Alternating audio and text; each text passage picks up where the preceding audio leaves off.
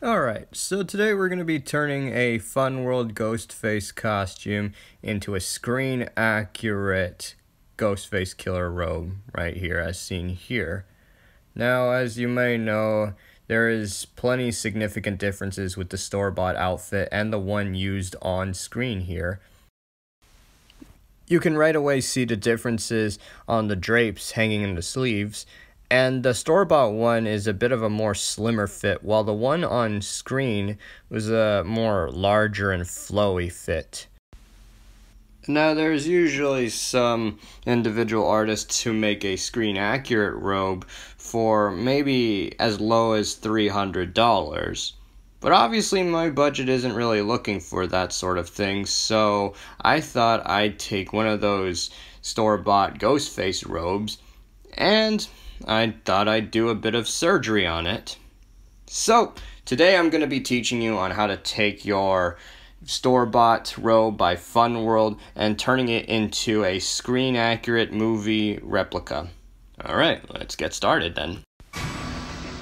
For this project, you will need very sharp scissors, lycra fabric, and a ghost face costume. Be sure to get one in plus size You'll get plenty of room when you buy the plus size.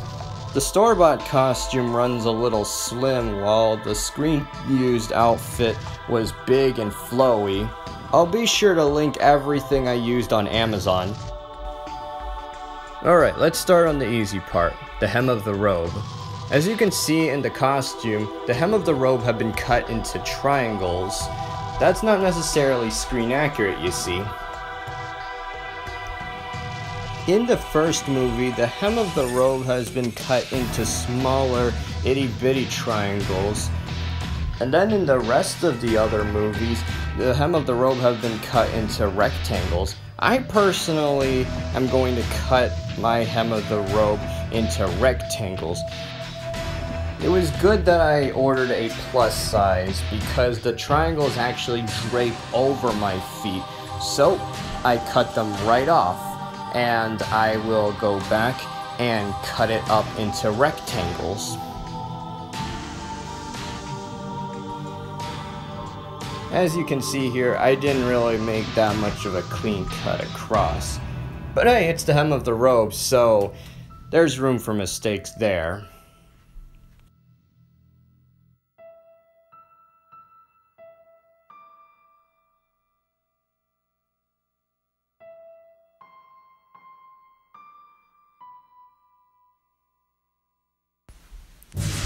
Here's a look at the hem of the robe before.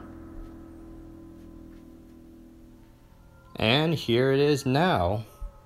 Big difference, right? Next, we will be doing some modification on the drapes.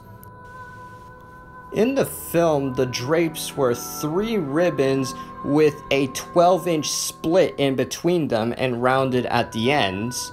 So, we'll say goodbye to our old drapes and we will be making a split right down the seam right there. Be sure to take your time with this cut and use the pre-existing seam as a guideline to cut. It's also helpful if your scissors are extra sharp because we want this as clean as possible.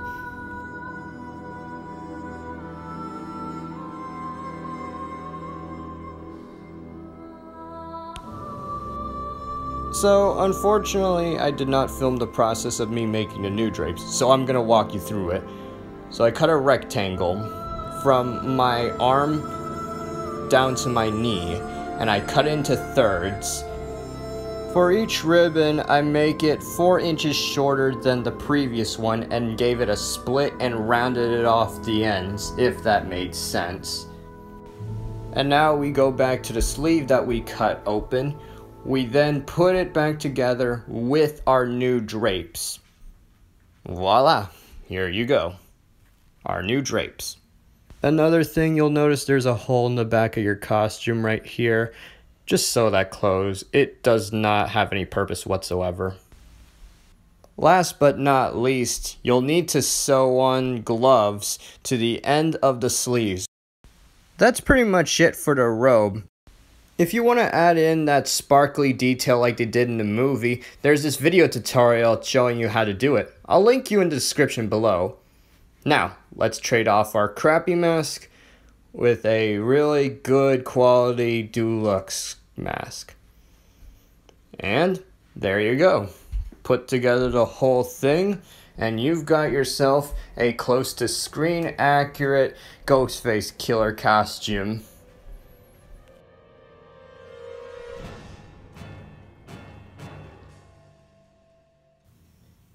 You so much for watching. I hope this tutorial helped. I'll be sure to link everything I used in the video in the description below.